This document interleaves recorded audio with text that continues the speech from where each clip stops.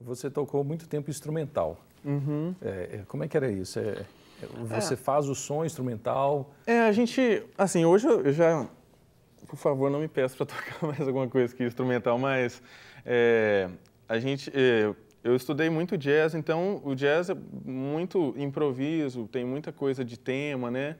Então, eu toquei muito isso, né? Eu estudei muito isso e, e tocava na, na, um pouco na noite. Você assim, não pratica isso mais? Ah, não, eu, eu parei. Hoje em dia eu componho mais e toco as coisas. Toco, é, hoje em dia eu tento focar nas minhas músicas e foco também em arranjar algumas músicas cristãs que já que já que a gente já conhece e uhum. tal. Ah, como? Por exemplo? Eu posso tocar uma aqui. Pode.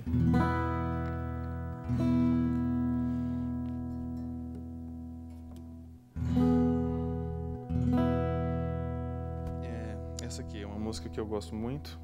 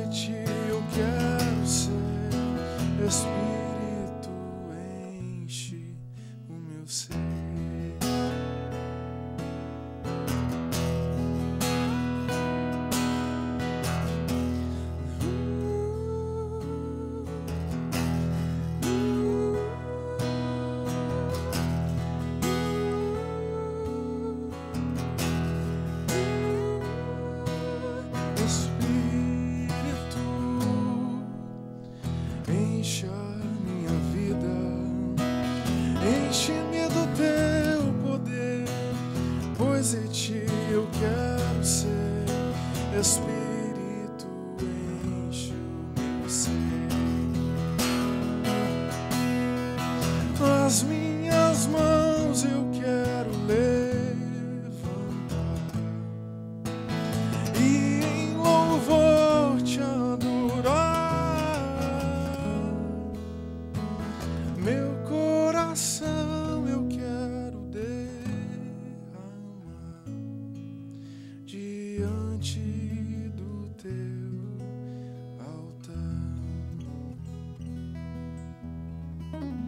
As minhas mãos.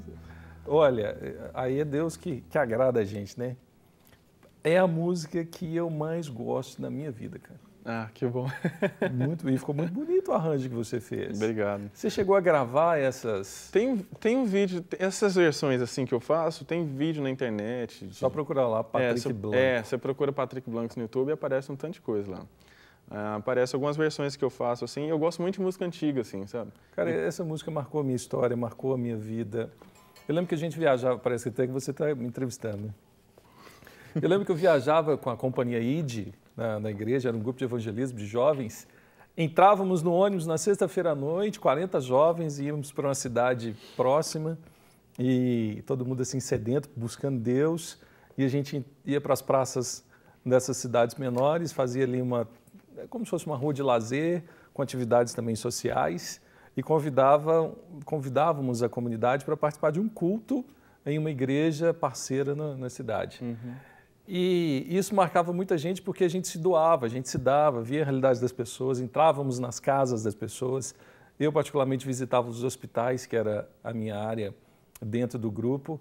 E eu lembro no retorno, na ida e no retorno, eu lembro domingo à noite a gente voltando cansado, porque dormia no chão de igreja, no chão de escola, e às vezes dividia, homens dormiam numa sala, as meninas dormiam em outra. E eu lembro cansado, às vezes domingo à noite vinha um violão no ônibus e a gente cantando, e uma das músicas que me marcou demais era essa. Essa, essa é muito Então boa. as canções antigas, e que não são tão antigas assim, né? É. São da década de 90, 80. Sim, sim. Isso tinha assim uma, uma melodia, um toque. Ah, é, eu gosto muito. Era, não é que a música fosse mais simples, mas não tinha tantas orquestras, tantos instrumentos, né? É, eu acho que a música era mais pura, né? Nessa época. Eu, eu não sei se posso falar isso, mas eu, eu sinto uma simplicidade nas, nas composições, nas letras, sem ligar muito para o que, que se todo mundo vai cantar. Então eu acho que é, isso, isso, é bonito. Era uma música feita para Deus que as pessoas cantavam. Sim. Não fazíamos não eram feitas música ou produzidas letras para agradar as pessoas, É. para elas cantarem e, Sim. consequentemente, Deus falar, nó, que bonito que ele fez, né? É. Qual é a música que você mais gosta? Minha ou dos outros? Não, dos- desse tempo aí e tal, ou sua. Desse Se você gostar tempo. da sua, vai ser bom, né? É, cara, tem algumas músicas que eu gosto bastante, mas Tem- a, a minha esposa não gosta, não, mas tem duas músicas que eu falo assim, ó, quando eu morrer no velório, eu canto, canto essa música hum, é, e Amazing Grace, que é uma Ah, outra tá. canção, né? Como eu falo, essas duas não pode faltar. Ah, que pedido estranho. Não, pelo menos para as pessoas saberem que eu gostava. né? eu gosto muito de é, Tu é Soberano, é, é muito bonita. Eu gosto dessas músicas antigas mesmo. Quem é Deus acima do Senhor? Seja engrandecido. Você quer que toque alguma? É, a gente está com o tempo, nós vamos terminar com você tocando. Hum. Hoje você tomou uma decisão bem radical, né, Patrick? Você deixou um trabalho, eh, vamos falar assim, fixo, com remuneração garantida no final do mês, e para viver como missionário. Isso. E a sua mudança de, de história para viver como missionário é muito interessante porque você não é um missionário que vai atrás no campo pregando. Você usa aquilo, o dom que você tem hoje, que Deus te deu, que Isso. é a música, capacidade de compor, de arranjar.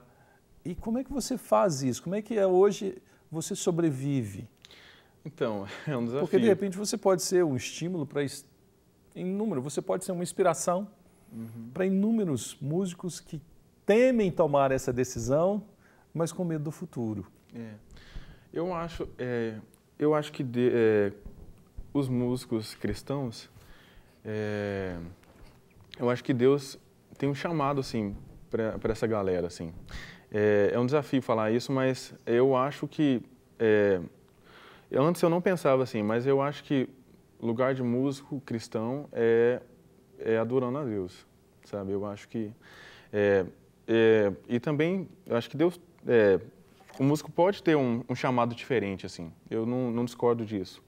E, mas eu acho que o lugar do músico cristão é adorando a Deus. E é um desafio viver assim, sabe? É, o chamado que eu tive foi um chamado muito, muito forte e não, não teve como fugir. Eu a vida inteira tentei fugir de estar tocando na igreja, de fazer o que eu faço hoje, mas teve um tempo que não teve jeito. E que aí você abriu mão de tudo para É, viver assim. e, né? e eu não conseguia mais viver sem ser assim. Eu não tinha mais felicidade. Eu, eu trabalhava com música, que é a coisa que eu mais gosto, mas não tinha felicidade. E Não- quando você vai à igreja, você só toca, ministra no caso, Aham. ou você ensina? Hum, Não, ah, tem várias coisas. Eu, eu dou workshop também de, Hum. sobre, sobre música, sobre harmonia, sobre violão. É, eu ministro, né? Às vezes também dou testemunho. É, E aí, se as pessoas quiserem te convidar, ligam para você? isso, tenho contato. Pode deixar o seu telefone, cara. É, eu, eu passei para vocês o contato, que é o, o e-mail, pode ser por e-mail, que é patrickblancos.hotmail.com, Aham. ou o telefone, que é 31 9381 4814. Uhum. É, então o pessoal me convida e hoje eu vivo de oferta, assim. O pessoal me convida para ministrar, eu vou, eles dão uma oferta e tal.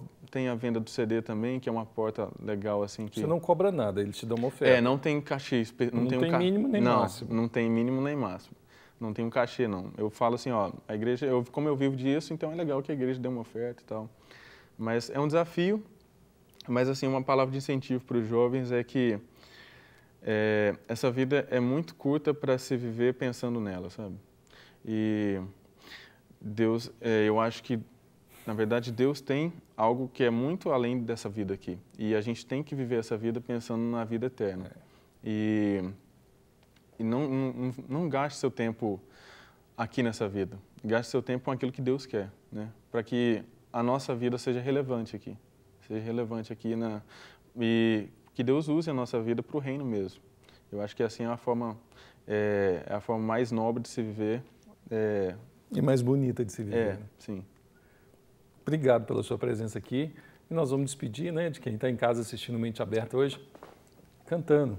Vamos. E aí, vamos aí, aí é a sua escolha. Tu é soberano, é Eu vou- eu muito. Eu vou cantar uma música minha que chama Sião.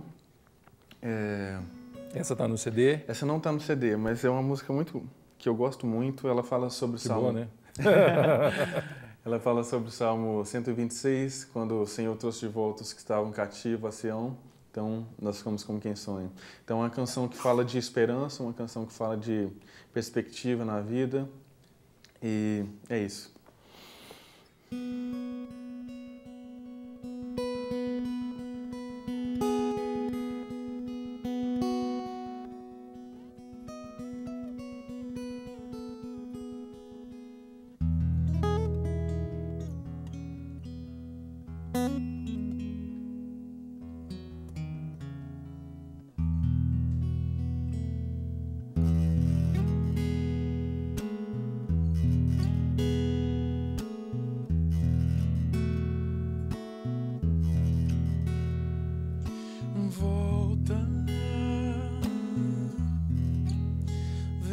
sonhar comigo. Volta, não é mais cativo. volta sim.